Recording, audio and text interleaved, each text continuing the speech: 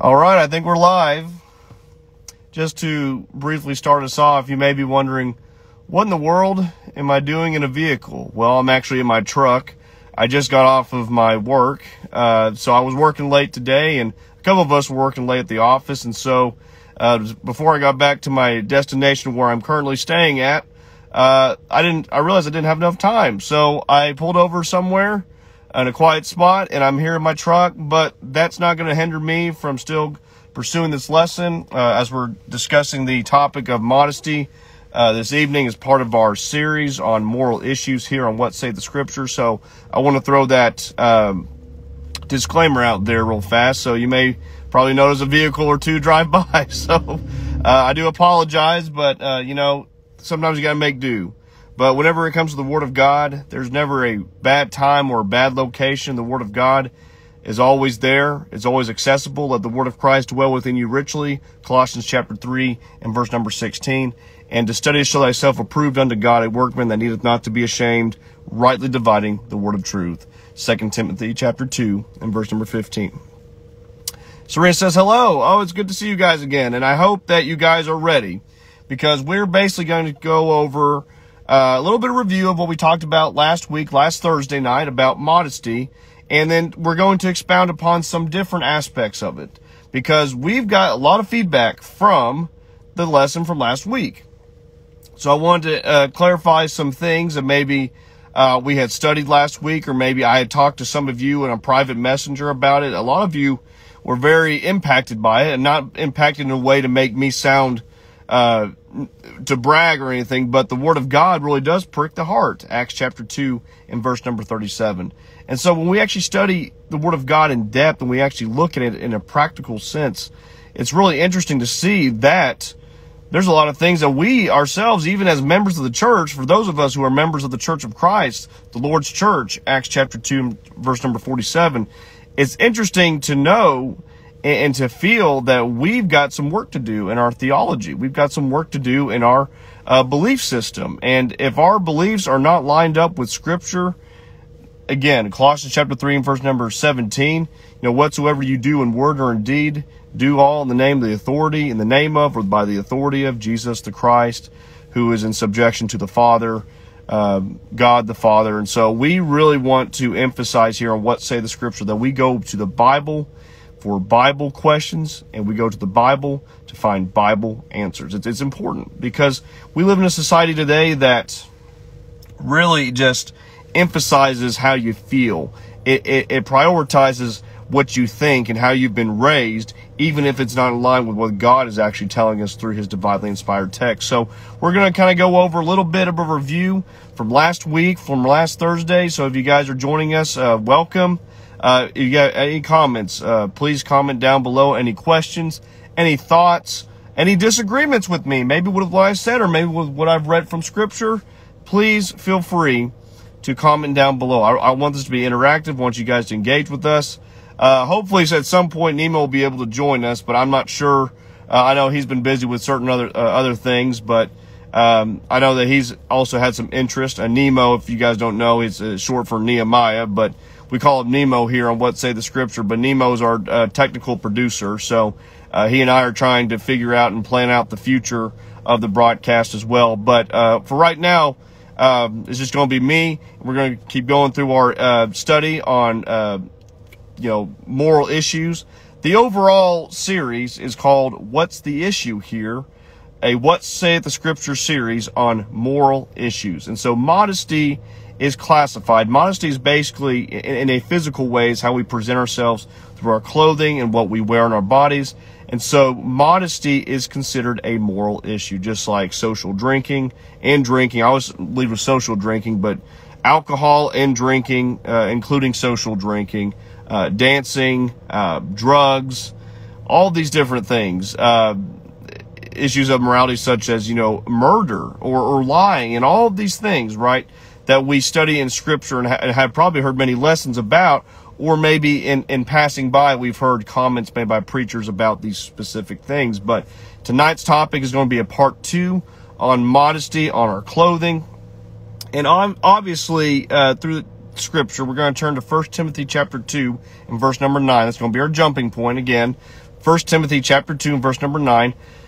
This issue of modesty, not that it does not pertain to men, but it is very apparent that Paul makes a statement here, 1 Timothy chapter 2 and verse number 9. If you have your Bibles, I got my Bible, as always. I'm reading from the King James Version. The Bible says in 1 Timothy chapter 2 and verse 9, if you have your Bibles open, have your notes out, follow along with me here. The Bible says in like manner also that women adorn themselves in modest apparel, with shamefacedness and sobriety, not with braided hair or gold or pearls or costly arrays. So we went over the idea of modest apparel. And modest apparel basically has been categorized or defined as, as we looked in Genesis chapter 3, going all the way back to the beginning. We looked in Exodus chapter 28, the garb or the garments that the priest were to wear, right? And in the worship to the Lord, the Israelite worship, that was for a specific time and a specific place, right? A specific time frame and a specific people, but yet that pattern of, of the garments that the priests were to wear did have a pattern. God outlined that in Exodus chapter 28 verses 40 through 42, and that it was from the shoulder to the knee. The garment, they were, the priests were to cover their thighs and down to the knee. And then we see again in Isaiah chapter 47 verses 1 through 3, a little bit of review. And again, I can repeat these verses if you need me to, and I can also send a list out to you if you'd like to have a lot of these verses. I have, uh, I have a little page of notes here. It's a lot of chicken scratch. But basically, the idea of in Isaiah chapter 47, verses 1 through 3, the daughter of the Chaldeans being categorized, right, when they were put into slavery, been put to uh, grind the millstone, and all of these different um, things that the slave women would do. What's interesting is that we find through the ideas, the principles of Genesis 3, the principles in Exodus 28, and then we see the principles again in Isaiah chapter 47 that there were to, there was to be a covering from shoulder to knee. Even the exposure of the thighs was considered naked. And you may be thinking, Christian, well, naked means you're completely nude. Like I said last week, there are two different definitions or two different categories of naked, right? We have naked in a sense of nudity, right? Full nudity. And then there's what's called relative nakedness. Isn't it interesting in Genesis chapter 3 and verse number 7 and all, all the way leading up to Genesis chapter 3 and verse number 21 that both Adam and Eve were in transgression of being naked in a relative sense? That the fig aprons that they were that were sewn together by them were considered insufficient. And then we see in Isaiah chapter 47 that a woman was considered naked, right, with the uncovering the bearing of the leg and the uncovering of the thigh. And that was the nakedness that was exposed, Isaiah chapter 47 and verse number 3. And then how Isaiah the prophet, through divine inspiration of the Holy Spirit himself, Isaiah chapter 47 and verse number uh, 3 and 4 goes the idea that the man was not to associate with the woman because she was considered naked in a relative sense. So we've understood, and I, have gone over this many times with people, and, and it's surprising because even in the church, there's a hard, there's a hard concept to grasp that I'm considered naked even if I'm exposing my thigh. That could be the case. And through my initial study of just these Old Testament passages alone, and then the idea and the principles found in 1 Timothy chapter 2, verses 9 and 10, right? If we are to profess godliness, we are to be covered. We are not to be exposing our bodies to the world in such a provocative manner, but we are to be appropriately covered. That way we are to be, uh, profess godliness, right? Uh, with good works. 1 Timothy chapter 2 and verse number 10. Uh, preacher man Sean Wooden says, I just have a question. If a man wears a t-shirt with the sleeves cut off, is this inappropriate for him to wear? Um, you know, that's a very specific, uh, that's a very specific part, uh, article of clothing. That's a good question.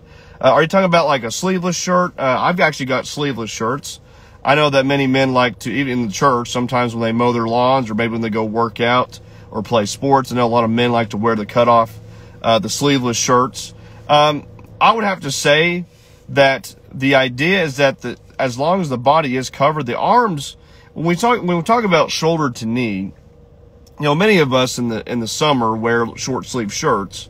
The idea is that we want to make sure that we are not exposing any part. So if I were to wear a shirt that did cut off, like right here, I'm talking about some men do that. You know, they, they call them crop tops. And I know that a lot of women like to wear that. But But in the same sense, right? Men have also worn, worn uh, shirts that cut off to here, or maybe shirts that cut off at the shoulders. So, uh, again, you know, this really is a, a term of discretion as well. I'm not going to tell you, no, you can't wear them, or yes, you can wear them. I, am not going to say that. That's not my, uh, that's not my place to say that. Uh, like you said, uh, preacher man, none of us authority. The Bible and Jesus has all authority, so we should be obedient to what the Bible says. And yes, a sleeveless shirt. Okay.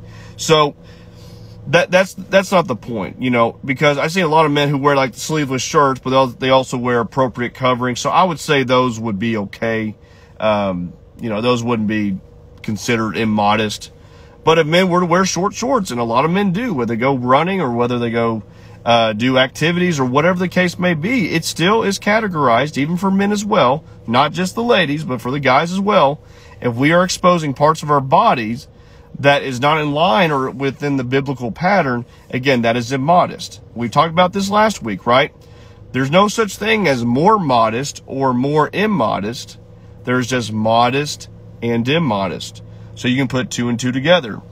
If you are not modest, then you are immodest. So we have to make sure that we are modest. We are appropriately clothed. Uh, I've also had questions uh, pertaining to, you know, the privacy of the home.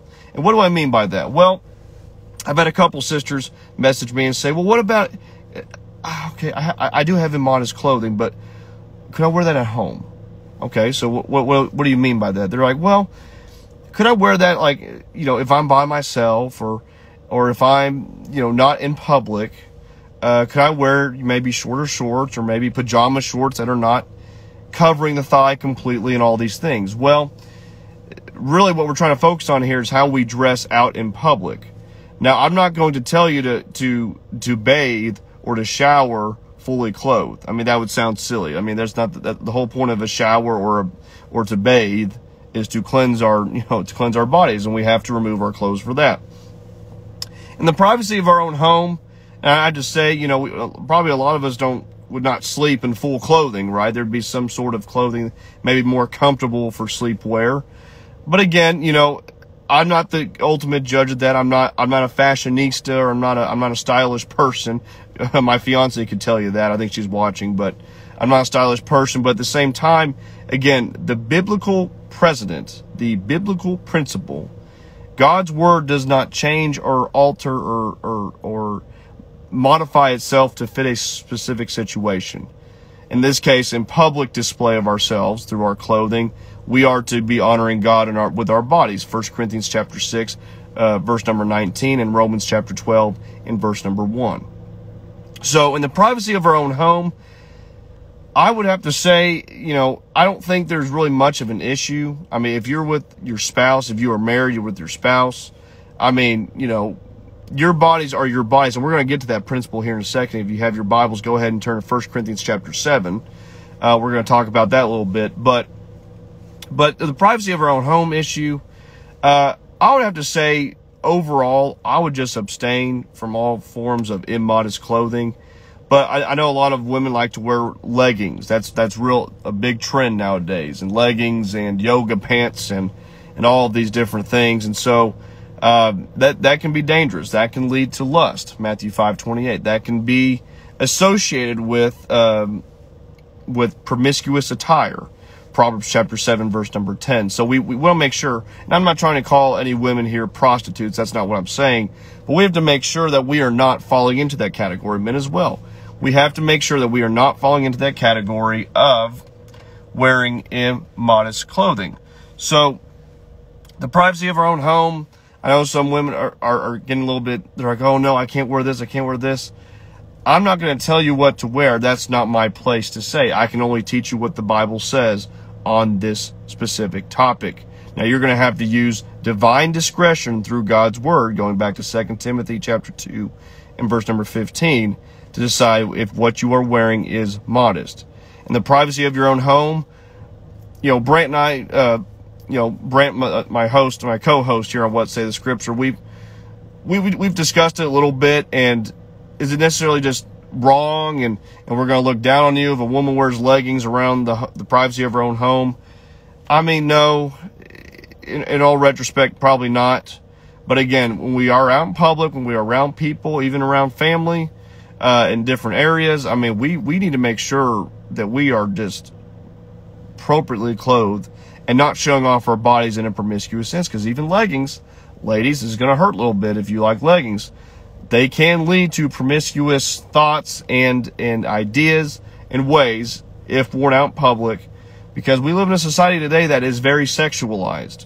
And what do I mean by that? Well, you know how sex used to be more sacred back in the older times and, and sex was something that was shared between a man and, and his wife for the most part. I'm not saying that people did not fornicate. Of course they did.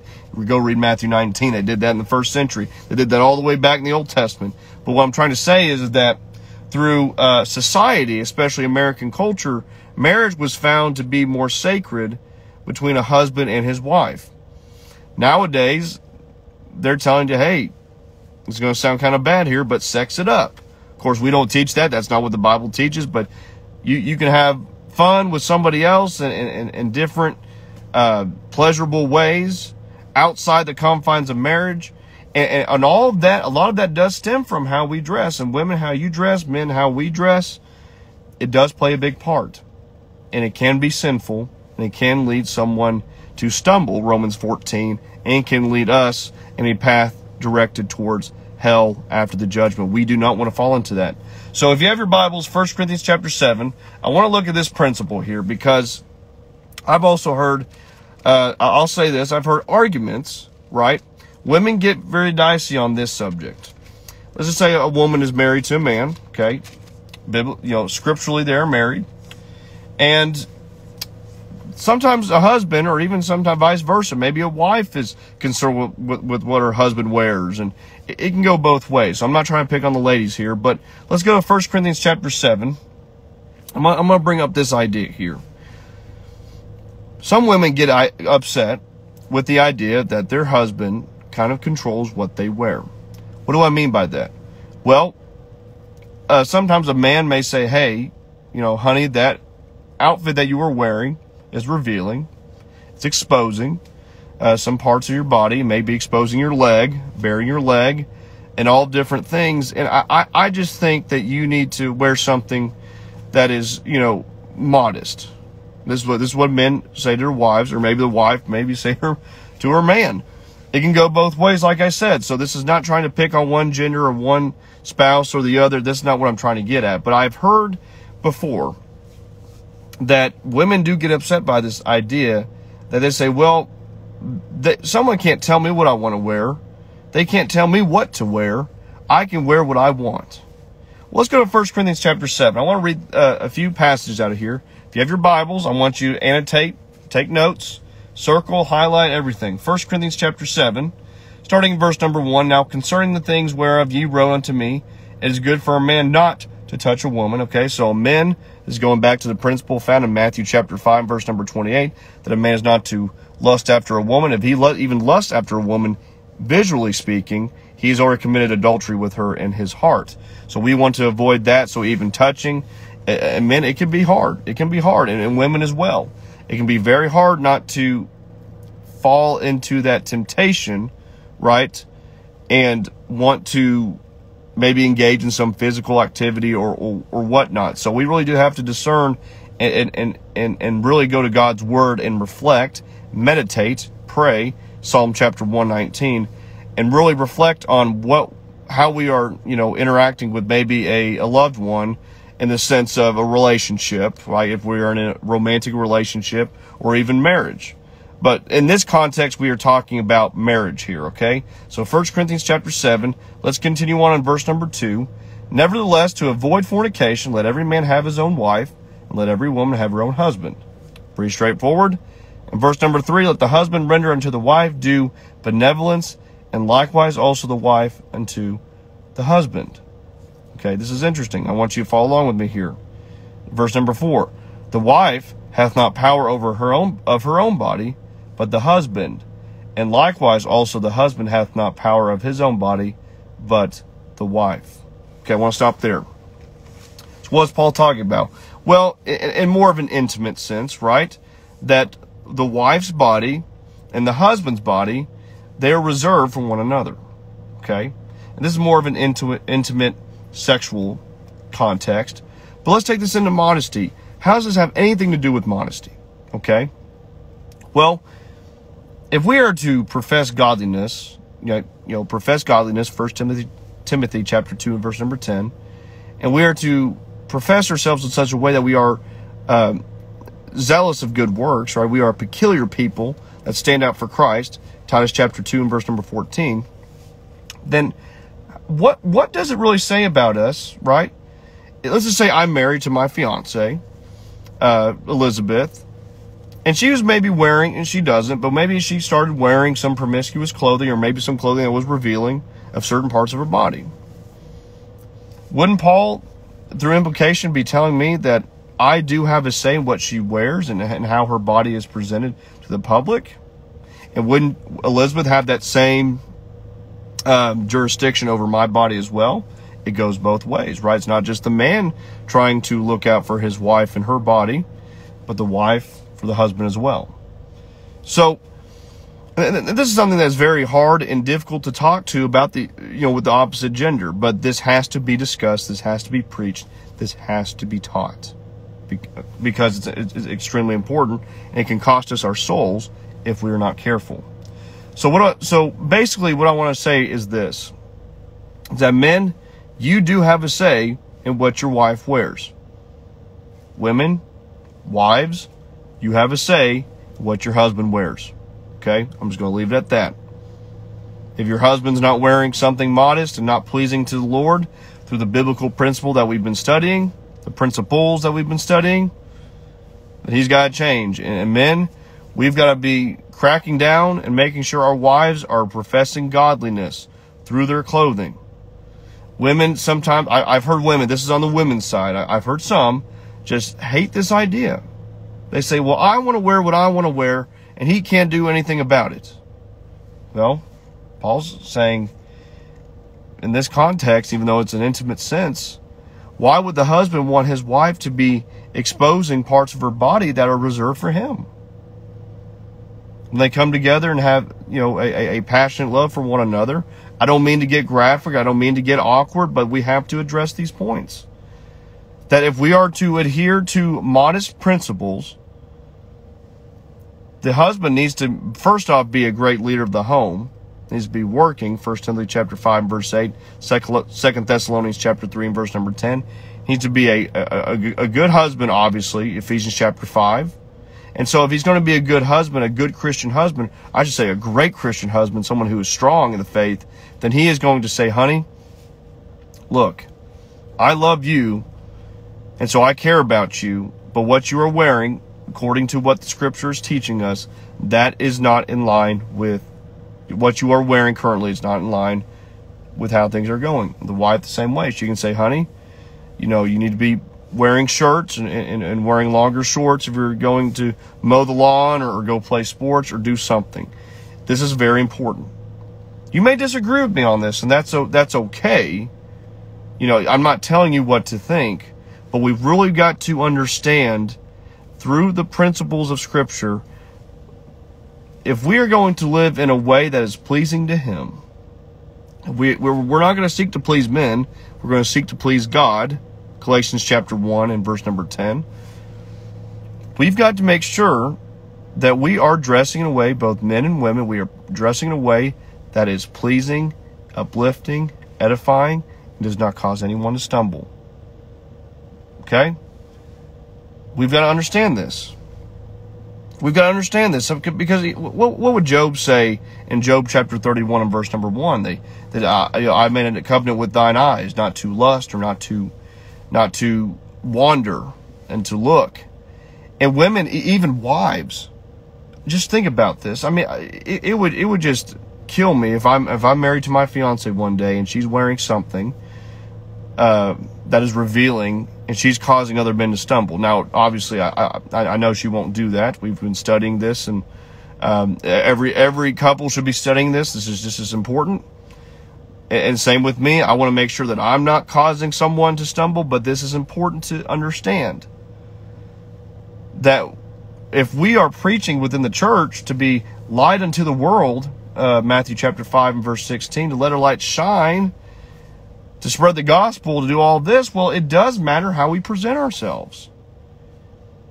We can present ourselves in, in such a demeaning manner, and, and, and women, specifically women.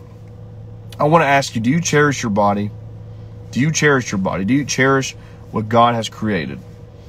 You know, women have a lot of self confidence and self esteem issues because society is so pressuring and so persistent on trying to tear down uh, different body types and how you look. But women, I'm going to tell you this right now that your your body is a holy temple, right? 1 Corinthians chapter 6 verse 19. And God has specifically and divinely designed you to be you. Now, you know, like I said, you know, in the privacy of your own home, maybe with your spouse, uh, I can't tell you what exactly to wear, what not. That's not the issue here. But when you are out in public, whether you're at at, at a uh, a place like um, you know water themed or a sporting event, whatever the case may be, because Christians are everywhere, right? We're going to be places. We shouldn't be at bet. we shouldn't be at places that are not pleasing to Him, but we are going to be at places around a lot of people all the time. We need to be presenting our bodies in such a way that we both honor them and respect them. You know, they try to tell you in society that a, a woman's clothing, if she if she's more clothed, if she has more clothes on, she doesn't like her body. That's completely false. That's completely false. I want to debunk that right now. That's just a bunch of silly garbage. Okay? A woman who professes godliness, boy, she has respect for her body. She is a strong woman.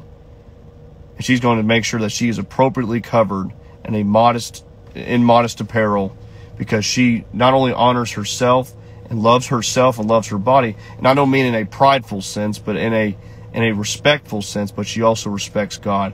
She respects his creation. So that's what we should be focusing on, and men as well. We've got to be focusing on not trying to portray ourselves or expose ourselves in such a manner that's going to give us such a, a bad image.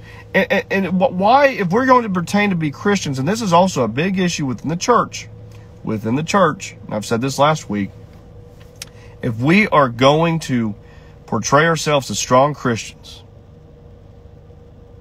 then we're going to reserve what is what is reserved for whom it is reserved for. That's why God honors marriage so highly. Malachi chapter 2. God hates divorce. Malachi chapter 2, verse 16. Marriage is so honorable. It's great. I mean, marriage is honorable. Hebrews 13 and verse number 4. Marriage is honorable and the bed is undefiled, but adulterers and whoremongers God will judge. So we've got to make sure we are presenting our bodies in such a manner that is pleasing to Him, and we are not conforming to society. I posted a list uh, for uh, some stores, and I'm going to get to that list in a second because I have I've had some questions on uh, some of the suggestions and, and some of the options that they sell. Uh, but first, preacher man Sean Wooden says a man or a woman or man does not need to dress immodestly or inappropriate to gain respect or attention. That is absolutely correct. Amen, brother.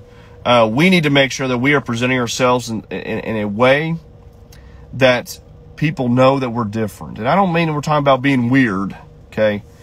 you know, Brant and I've talked about we don't we, we don't want to be weird, but we are different. We stand out. And people notice and people will give attention to what stands out. We stand out in a good way. We are peculiar people, zealous of good works. Titus chapter 2 and verse number 14. So this list that I had posted a couple days ago on uh, What Saith the Scripture Instagram page and the Facebook page, a lot of you uh, had some great feedback. And actually, all of those stores that were mentioned, I, I, I did not know about most of them. I think I heard about maybe one or two, but most of them were submitted to me. And so I did have some uh, some responses back from individuals and, and, mainly women that were like, okay, well, they sell some modest options, but then there's also immodest apparel that these places sell. So I'm going to say this right now. Um, I know a good chunk of those places. I'll have to get back with the people that sent those uh, references to me. And again, all the people that sent those references to me are strong members of the church. So uh, I took their word for it. Um, and yes, I did. I did some research as well. I didn't just blatantly post. I did some research on these places. Uh, looked at their options. Looked at their uh, what they were selling, and, and, there are some. There are some things that they sell that are not modest that they think is modest, but really is not. So again, I'm going to answer this question, you know, what do we do with a place or a store that says they sell modest apparel and they don't? Or maybe they sell some and they and most of the time they don't. Whatever the case may be, you it's your responsibility as a Christian. It's my responsibility as a Christian to use good judgment, to use good discretion on what to buy and pertains to clothing. I cannot tell you again what to buy. I can't tell you what to wear. I can only give you the principles. I can only give you teaching. We can only look at the Word of God together to see what is appropriate and what is not. I cannot vouch for some of these stores. And not every store on that list was owned by uh, members of the church. Some of them were owned maybe by another religious affiliation, but we don't, we're not trying to promote them in a religious way. We're just trying to say, hey, if you were having trouble finding, uh, especially for the women, trying uh, trying to find modest apparel that is also makes you feel makes you look good and feel good, but it's also modest and uh, in accordance with God's teaching and, and biblical principle on modesty. Then we have presented some stores to you, or I have presented some stores to you in a list that you may go check out yourself. If you don't like those stores, you don't ever you don't ever. I'm not gonna force you to order anything from them. I'm just trying to help you out because I've had many uh, individuals, especially young women, uh, approach me and say, I, I love, I want to be a little bit, you know, trendy and fashionable, you know, but at the same time, I want to be modest. I think mod- the modesty principle comes first before the trendy or the fashionable, but it's very hard for women. I understand that. And, I, I'm a guy, I'm a man. I don't know what you women are going through with the fashion, and, and, and my fiance's told me it's hard uh, it's harder to find uh, things to wear that are modest and also, um, also, you know, cute as they call it. So, um, I don't really say the word cute, but I will in this sense, just to be fair to the women. But um, preacher man Sean Wooden says Walmart sells both modest and immodest clothing. At least the one around here where I live, North Carolina, does. Yes. So again, any I was talking to some people, any big clothing outlet store will have modest options. They will have a lot of immodest options too. Just avoid those. First Thessalonians chapter 5, verses number 22 and 23. Just avoid, abstain from all forms of immodesty in that sense. But you will find, I, I guarantee you, right? Matthew chapter 7 and verse number 7 and 8. Ask and it shall be given to you. Seek and ye shall find. Knock and the door shall be opened unto you if you seek and you truly pray and meditate and say, Lord, help me find modest apparel that you have uh, defined for me in your word, I pray, I pray for you as well.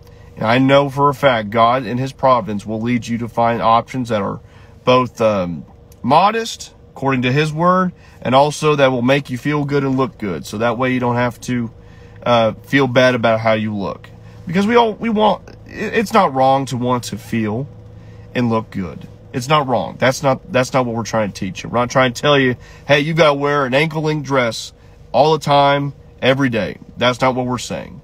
But in terms of the biblical principle, shoulder to knee, uh, I don't care what brand it is. I've I've told, I've told my fiance, I don't care what brand it is. I don't care uh, what pattern it is, as long as it's not a you know a weird like a promiscuous pattern or anything. But I don't care the material, whatever, as long as it's not a a provocative, uh, exposing, outlining certain parts, as long as it's neither of those things, as long as it's modest, I don't care. I'm a guy. I, I don't have a preference on what the woman wears as long as it's immodest or as long as it is modest. I said modest. I might have sounded said immodest, but as long as it is modest according to God's word. So, I kind of hope that clarifies. Uh, maybe some of you may be uh, joining kind of late. Um, Megan says, I'm so sorry I'm late. Been very sick. I can say that I've been able to find clothing on Amazon that's modest, very affordable. If anyone needs any rec- recommendations, I try to help. Yes, Sister Megan is awesome. She's been on the ball. Uh, we've been talking a little bit. And so, um, like I said, big clothing stores, uh, on, uh, online outlets, there's going to be options for you to find. I, I guarantee you. Especially the ladies. There's going to be options. You've just got to go search for it. I'm going to tell you, it's going to be a little bit pricey too. I think some of the options my fiance found, she said they're a little bit more expensive, but to me, it's worth it. To me, it's worth it. Um, to, to follow God, to honor God in a pleasing manner is 100% worth it to me. Um, okay, I'm going to see what we got here. Um, go to 1 Peter chapter 4. Actually, go First Peter chapter 3 first. 1 Peter chapter 3. We're going to talk about another aspect or two of modesty, and then we will uh, wrap it up on this lesson. But I want to go to First Peter chapter 3. So we were talking earlier, First Peter, cha- uh, excuse me, First Corinthians chapter 7, right? We're talking about marriage because this is a, this is, does pertain to marriage in a way that modesty does, or a relationship between a man and a woman in a romantic sense. Mostly marriage, right? Mostly marriage. Sorry, I was receiving a call. I hope it didn't, uh, didn't pause uh, too much. But, okay, let's read 1 Peter chapter 3. I'm going to go through 1. 1 Peter chapter 3, if you have your Bibles open. We're going to read 1 Peter chapter 3, starting in verse 1. Likewise, ye wives, be in subjection to your own husbands, that if any obey not the word, they also may be without the word be won by the conversation of the wives, while they behold your chaste conversation coupled with fear. Whose adorning let it not be that outward adorning of plaiting the hair, and wearing of gold, or of putting on of apparel. But let it be hidden, man of the heart, and that which is not corruptible, even the ornament of a meek and quiet spirit, which is in the sight of God of great price. For after this manner, in verse number five, the old time, the holy women also who trust in God adorn themselves, being in subjection unto their own husbands. So there's a principle here about modesty. There is. This is really pertaining to marriage, as Peter's writing as an elder. But think about modesty here. Modesty is not just is not just the idea of covering oneself in a pleasing manner. It's also not expressing yourself or flashing yourself to the public. Is it wrong to wear earrings? No. Is it wrong to have your hair done? No. But see, sometimes, here, here's a problem though. A lot of people say, oh, well, I hear it's not wrong to do that, so let me just explode it out. What does that mean? Well, they just want to just uh, go all out. The most expensive earrings, the most expensive hairdo, the most expensive clothing. They go all out. And this is more of an issue with women. This can be with men, but with women as well. There is a there, there there's a problem here, even within the church. Peter faced it. Uh, Paul had faced it when he traveled through all the different congregations of the first century. It's it's interesting to see that there were women even within church that were trying to flash and show themselves. And this was not in unison with what Peter would write whose adorning let it not be that outward adorning of plaiting the hair and of wearing of gold or putting on of apparel, but let it be hidden, man of the heart, that which is not corruptible, even the ornament of a meek and quiet spirit. So we're to be meek, we're to be chaste, we're to be humble, right? God resisted the proud, but he gives grace to the humble. James chapter 4 and verse number 6. Women, you know, I, I'm going to say this the flashy and the showy and, and, and getting the hair done all the time and the nails done all the time and all these flashy things, it's not going to add up at all. And it's in exact contrast with the Christian conduct that is found in 1 Peter chapter 3. It's in direct contrast with what Paul writes in 1 Timothy chapter 2. Is it wrong to wear makeup? No. Is it wrong to wear earrings? No. But sometimes when people hear that, they say, oh, it's not wrong. What they do, they explode it out. They just go for it. Folks, we've got to be careful that men as well, they, they, they find these thousands upon thousand dollar suits. They wear these nice clothing, all these brands. Uh, you know, my fiance's had to teach me about all these clothing brands that are designer and all these things. And, and I'm, I'm just going to say this right now that too much of that is a sin. Yes. It's not wrong to own nice clothing. But man, I'm going to tell you this the, the flashy and the showy. And, and, I mean, there are women that get their hair done almost every day. I mean, th- that gets to a point where you're not following the principles at all. We're just going to shut that down. How are you going to be a light unto the world? When we talk about being a light unto the world, and we talk about being out in public, we talk about how we dress modestly, right? But also how we present ourselves.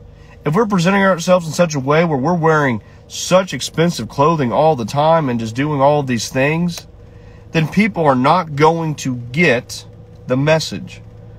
They're going to look at us just as the world sees everyone else. We're not going to be different. We're not going to be peculiar. In fact, the the woman, the wife, who is not who, who is a meek and quiet spirit, who who praises the Lord even through how she shouldn't say praise, not not worship in a sense, but honors God through how she presents herself. She's the one that's going to make a difference. Not not the flashy, not the showy. Oh, look at me! I drive the, you know, not really nice, expensive car. I I do all these things. It's so. I mean, to me, even when I study the scriptures, when I study the New Testament, man, it just it just blows my mind how intense and how how sincere some people are about how they look and how they present themselves. They will spend more hours upon hours in a day trying to get the best and expensive clothing and the best expensive car and worry about all these things. And these are members of the church rather than getting into the Word of God. To set our affections on the things above and not the things of earth. Colossians chapter 3 and verse number 2. Folks, we got to get better about this, I, myself included. We can fall into a temptation, right? But a temptation that's not going to overcome us 1 Corinthians chapter 10 verse number 13. If we stay grounded, if we stay level and have our foundation in Christ. 1 Corinthians chapter 3 and verse number 11. So we dress in a modest manner and we do not overdo it. We don't go all flashy and showy. You know what? It's interesting. Uh, some of the clothing uh, stores and, and some of the uh, apparel options that you can buy. I'll say this. I'll say this. You know, I don't have to have the most expensive. Sure, I have some nice clothes. I'm not going to say I don't. I don't have to have the most expensive. Some people say, well, there's a $30 option, but I want the $3,000 option. Members of the church have said this. They have said this. And you basically, you buy the same product, but they want the one that's name brand. Oh, they want the one that's 20 times as much as the other option. That's the more basic option. Both serves the same function both actually probably look the same. But because this one's a specific brand, they want to buy that brand because, hey, guess what? The world says to buy this brand. So it's, I mean, it's not just women, it's, it's men as well. And I'm just, you know, I'm sometimes it's appalling to me. It's not a personal attack against anybody, not specific women or men, but it, it just is, it, it's appalling to me because members of the church are falling into this. Um, I'm, I'm sorry, I've been missing some of the comments here. Uh, Megan says, Absolutely, sister, I cannot go out shopping due to illness and mast cell activation syndrome. However, Amazon allows you to buy clothing and try it on at home. If it doesn't fit or work, you can return it for free. In most instances, it helps so much. That's correct. I know Amazon does that. Uh, other places probably do as well. Maybe Amazon's the only one. I don't know, but y'all know that more than I do. Uh, Preacher Man says Abel Gordon that goes for men too. If a man has to show off his muscles, etc., to get a wife, then they are looking for the wrong kind of woman. Amen. Amen. Um, and then Chris G 1029 says Christian, the same goes for men in their local gym showing off their muscles and legs, legs, clothing. Yes. Yeah. I, I would say, uh, put a question mark. So I'm assuming that's a question. Yes. That goes the same for men. Um, trust me, I used to be one of those guys that I go up to the mirror and kind of flex and, and, and it'd make me feel good, you know, if I'm wearing, wearing, uh, tighter clothing, you know, that's, that's exposing some muscles or some, or, you know, maybe some shorter shorts expose the, the thigh, the, the calves and the thighs and, and all your progress working out. I, now, let me say this right here. It's not the actual action or the actual situation that's wrong. You need to be working out, right? We need to be taking care of our bodies. There's nothing wrong with that. In fact, my fiance can tell you I need to be working out a lot. So, um, maybe she's still watching. I don't know. But, um, but think about this though, Chris. You're right.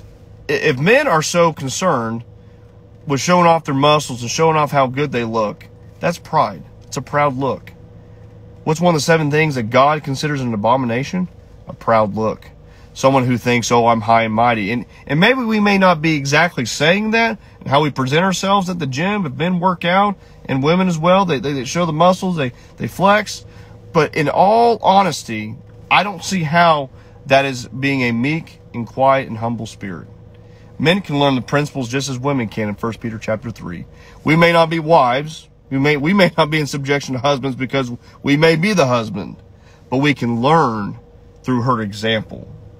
And so when we're fl- uh, flexing muscles and, and doing all this, and sometimes I joke around and do that, but in all honesty, when we're doing that uh, in a serious look and we're taking pictures and posting them on social media and just exalting ourselves, uh, it, it, looks like we're exalting ourselves above others, and that's not what we're trying to do. That's also a, a great principle of modesty, Chris. I'm glad you bring that up.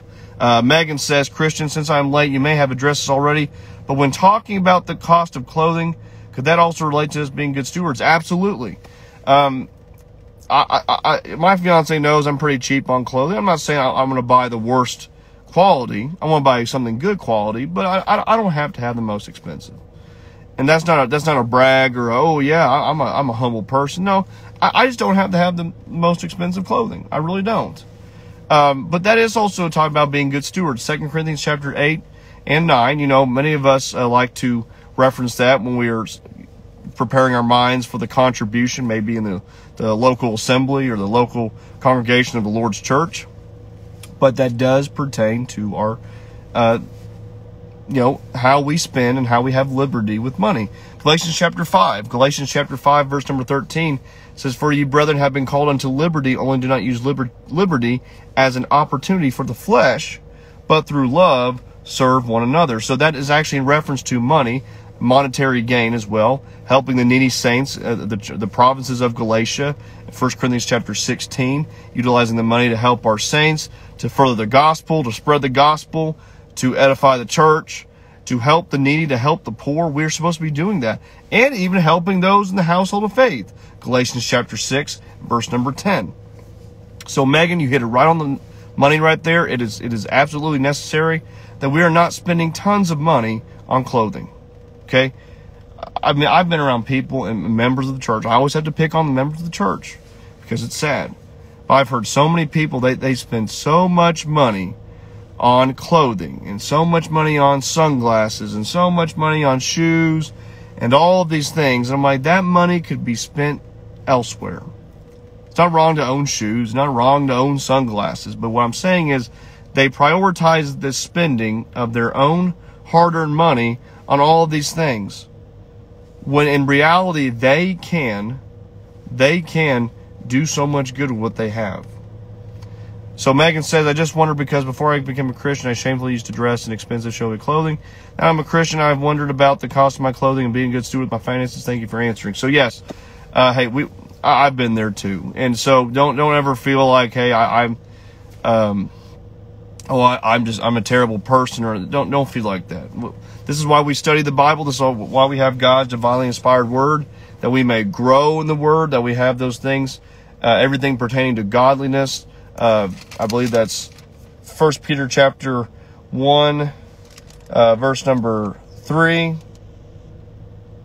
Something like that. I could be, don't ever quote me exactly, but um, we have the Bible, we have the Word of God to help us grow in knowledge and in truth and to worship in spirit and truth. John chapter 4 verse number 24. So again, don't ever feel bad about that. We've all, like, like uh, Sean says, We've all been there. So, um, but now it's time for us to get right. It's time for us to get going. And now's the time to fix. There are some things which are harder to understand, 2 Peter chapter 3 and verse 16.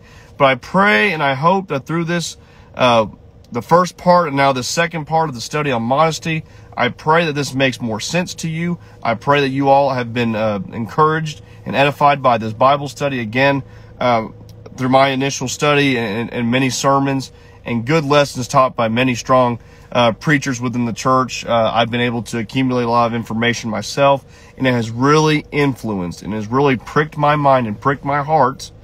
Elizabeth, you're going to make fun of me for this, but it's pricked my heart to really consider a different way of thinking, a different different actions.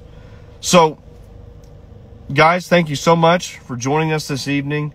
Um, I don't know if any of you watching are currently not members of the church. You may be thinking, what in the world is he talking about, becoming a member of the church? Well, when we talk about modesty, when we talk about these moral issues, these are guidelines for Christians. this is not necessarily just a recommendation. It's not re- necessarily a rec- uh, well recommendation, but also there's not necessarily a uh, just just a, a, passing thought that uh, these divine authors, these divine 40 authors of this entirety of God's word has given to us. These are things pertaining to godliness that we must adhere by. We must adhere by the doctrine of Christ, because if we do not adhere to the doctrine of Christ, we neither have the Father nor the Son, but if we do, we both have the Father and the Son, 2 John 9. So we need to go to God's Word to correctly and appropriately utilize it so we may become holy, we may become perfect, Colossians 1.28, Matthew 5.48, and that we can become holy, for it is written, Be holy, for I am holy. 1 Peter chapter 1 and verse number 16. So if you're wondering how to be holy, how to be perfect, you're, you're, uh, well, Christian, you're, you don't look perfect. I'm not talking about how I look. I'm talking about spiritually. Do you want to be made spiritually perfect? I want to ask you this question. Maybe you're watching this. Maybe you have no idea about the Church of Christ. Maybe you have no idea about salvation. Well, I'm going to tell you this. There are three important facts that you need to know.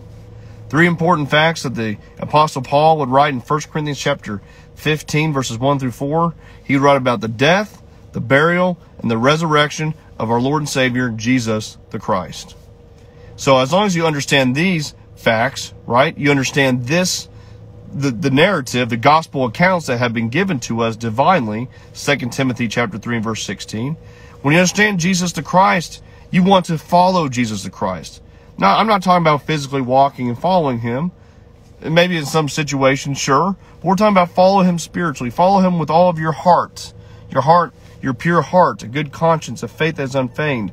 1 Timothy chapter 1 and verse number 5. You want to follow with him all your heart. You want to adhere to his commandments. You want to adhere to his teachings. You want to make sure that you become saved. You need to work out your salvation with fear and trembling, as Paul would write in Philippians chapter 2 and verse number 12. So how do we do that? First, we need to hear the word of God. We need to hear the gospel message. Uh, faith cometh by hearing and hearing by the word of God. So you need to hear, you need to believe the word. You need to believe those facts that we talked about in 1 Corinthians 15. You need to believe because Jesus even said in John 8, 24, unless you believe that I am he, you will die in your sins. We are in a sinful state before we've been cleansed, but we need to get to, we have to have the knowledge that precedes being cleansed in the blood. We need to have the knowledge. So we need to hear the word, believe the word. We need to repent, right? God calls all men everywhere to repent. Acts chapter 17 and verse number 30. And God desires all men to come to the knowledge of him and obey the gospel. 1 Timothy chapter uh, 2 and verse number 4 and that includes repentance. Repentance is that turning away, it's that purging out, is that getting rid of those things which are not in line with His Word. They are not, they are holding you back. It may be situations in your life, it may even be friends or even family. Matthew chapter 10. Sadly enough, that's mainly the case with a lot of people I study with. Their, their families hold them back from really following what God has given us. We can't let that we can't let that stop us. We must repent and turn away and follow him. Deny ourselves, pick up our crosses and follow him. Mark 8 and verse 34. So that's what repentance is. All those things, all those sins that we read about in scripture, you're going to purge them out. So you hear, you believe, you repent, and then you confess. You confess, excuse me. You confess that Jesus Christ is deity.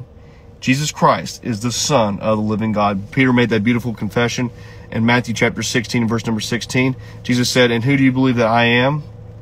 And, and Peter replied, That thou art the Christ, the Son of the living God.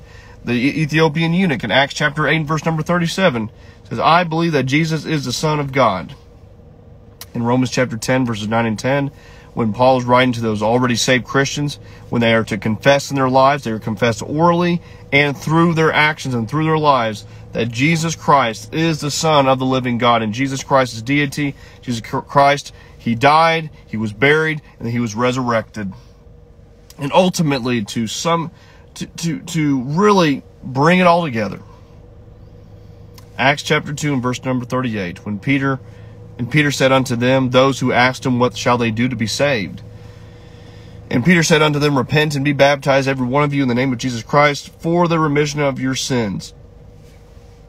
Mark 16, 16.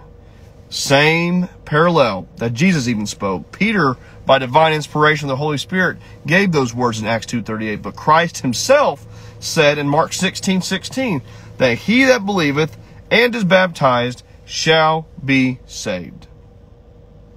Is it he that believes only? No. Is it he that is baptized only? No. But it's a culmination of what we've been discussing, what we've been studying, what we've been looking at in his word.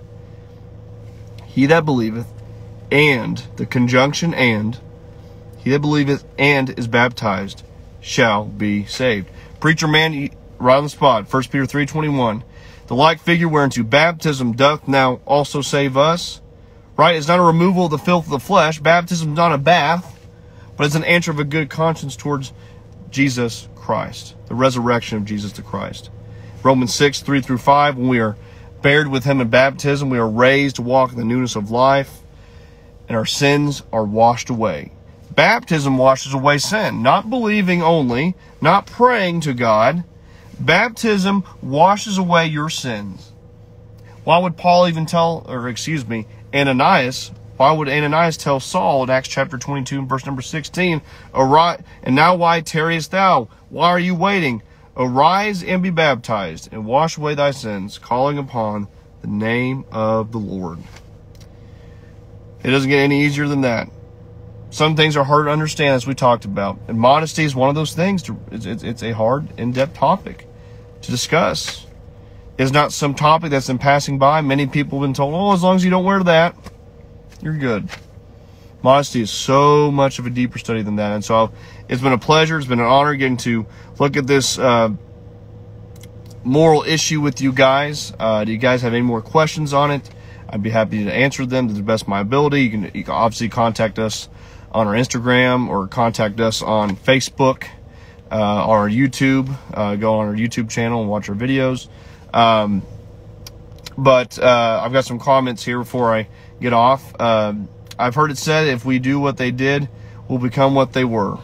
That's a good saying, yeah. Um, Megan said, I forgot to mention, but I wanted, for, uh, wanted to for us Christian ladies, if you're looking for t-shirts to have scripture on them, there's a store on Etsy by Butterfly Design Co. that designs these. Okay, awesome, yeah. I mean, what's better than proclaiming the word of God through what you wear? I, I think that's great, Megan. So, uh, I don't know anything about that. I'm not, I'm not a girl. I'm not trendy at all. I'm not uh, my fiance can tell you I'm not cute at all with, with clothing. I'm probably the most, uh, uh, I don't know, lamely dressed person you'll ever meet. But um, that's why I leave it up to the ladies to decide that. But again, guys, it's about time for us to close. I hope you guys have really enjoyed the study. And next week, I believe next week, we're going to get into a topic of drinking, alcohol, and social drinking. That's going to be a hard topic. Again, I've gotten questions on that. And so we are ready to go. Moral issues. We got to study why, you know, we got to study why we are, you know, not in favor of these things or maybe are in favor of something. We've got to know why.